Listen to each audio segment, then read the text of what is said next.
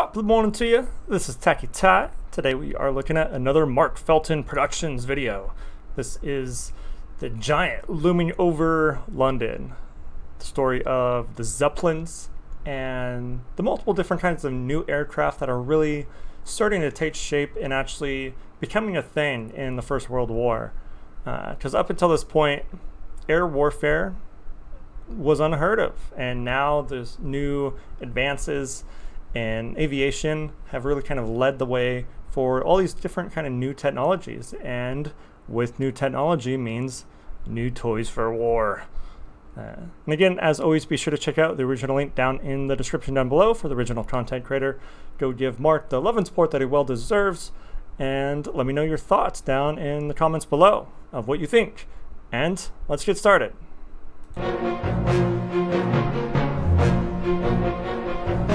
German giants over London. Ferdinand, Count von Zeppelin, was not only interested in the development Zeppelin. of lighter than air machines, such as the airship series that bore. Because really, the first major aerial attack was a Zeppelin.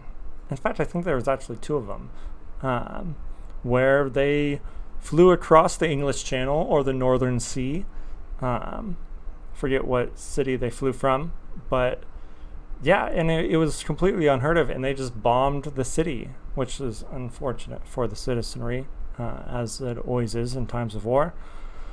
But yeah, it, it really kind of set a new precedent for warfare from this point forward. Bore his name, but also in heavier than aircraft.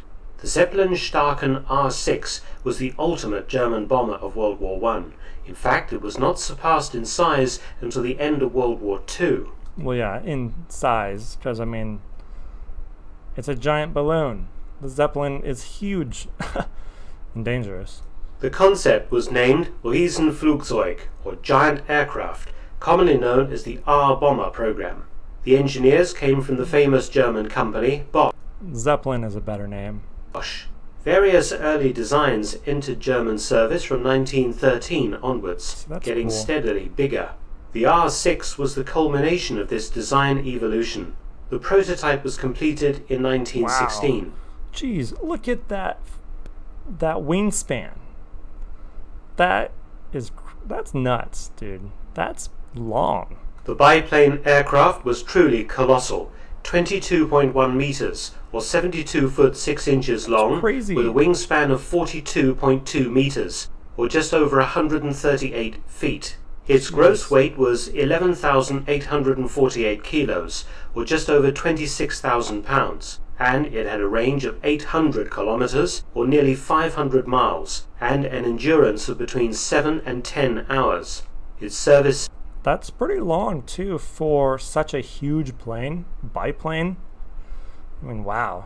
And especially now with the advent of I forget what the te technology is called, but it's where you can shoot through the propeller and not shoot the propeller off while you're shooting because it actually shoots through the propeller blades.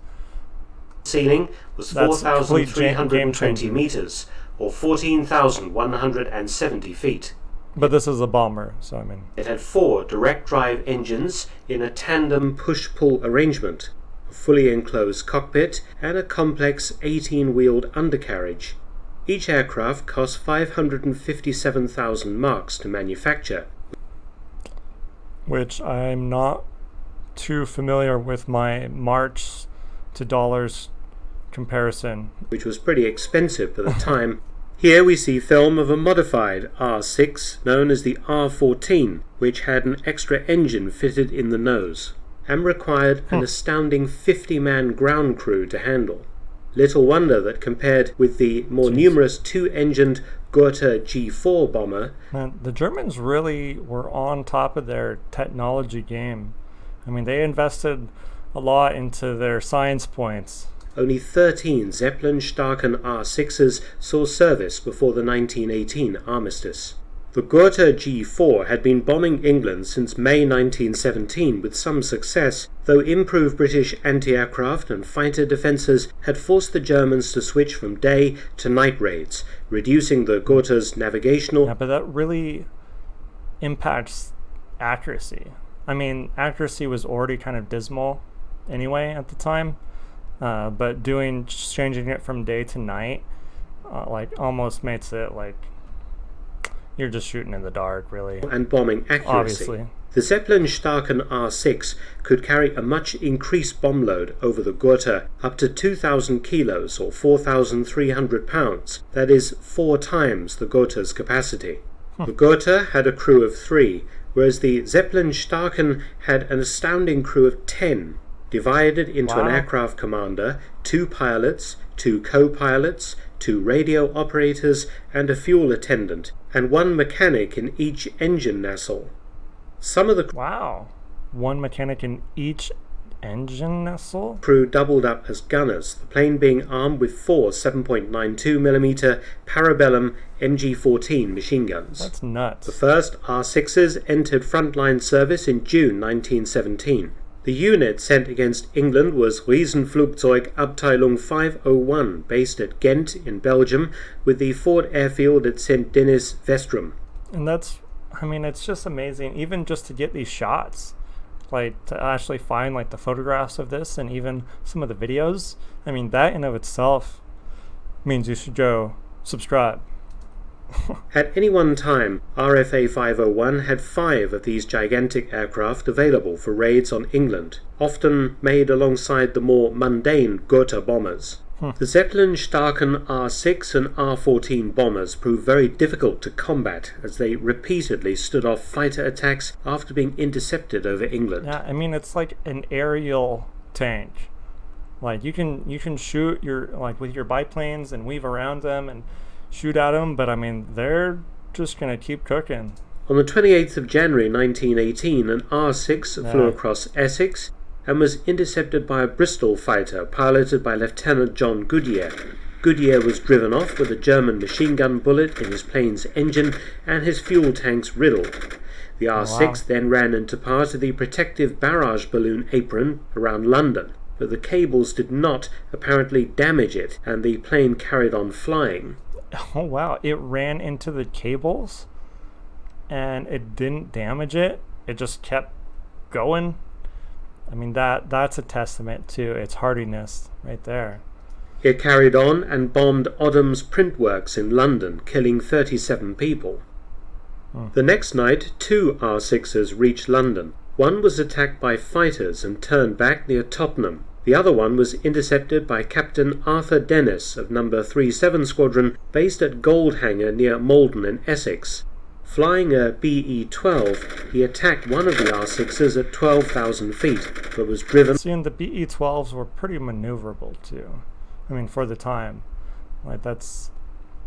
That really kind of gave you the best agility. Off by the Germans' four machine guns, his fighter riddled with bullets. The R6 turned at Hertford and made for Brentford. It dropped its bombs in Richmond Deer Park, Brentford, Bridge. See, and it sucks. Dropping bombs just on random towns sucks.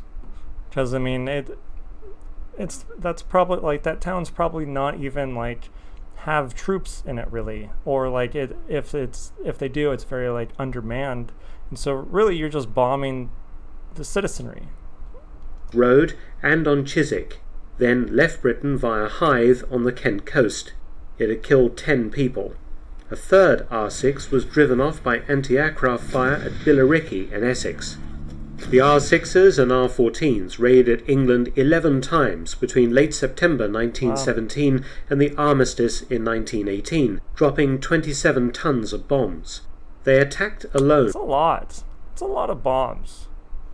I mean, flying to their targets like, on moonlit nights and following directional bearings yeah. received from base by radio one. And especially because they're doing night attacks. So they're just dro- they're just flying over, dropping random bombs, approximately where they think cities are, and calling it good. Airborne. They would then follow the River Thames to London. Each sortie was a 550 kilometre or 340 mile round trip that lasted seven hours. The first Blitz, the combined German aerial bombing campaign against Britain between 1915 and 1918, using Zeppelin airships, Gotha bombers, and the enormous Zeppelin Staaken aircraft, killed 1,394 people and injured 3,349, with the greatest number of casualties in London. Material damage was significant, and war production did decrease. Yeah, and really that just that gets in the psychology and just like ingrained in the citizenry's like forward thinking of like we are under attack like and it, it, it really turns up the crank for like volunteer conscriptions in the war um, which britain definitely needed at this point but i mean it's it's uh, Priests it's as the raids disrupted war work. sucks. The requirement to defend London and southeast England from such attacks diverted large numbers of fighters, anti aircraft guns, and personnel from the Western Front. For example, 16 squadrons of the Royal Flying Corps were kept at home, but it did lead Hmm. to the development of an integrated home defence system See, that, that. served Britain well when the German Air Force returned to wreak destruction in 19. Yeah, with that bat gunner, where like, just hopefully you don't hit the tail of your plane. Thanks for watching. Please subscribe and share, and also support my channel at PayPal and Patreon. Yeah. And again, do the same thing. Go check out Mark's channel. He has some awesome footage. I don't know where he finds this footage, but it's it's sweet. And let me know your thoughts below of the Zeppelin. And should we bring the Zeppelin back? Just for novelty? Let me know. And again, I will see you on the next one. Cheers.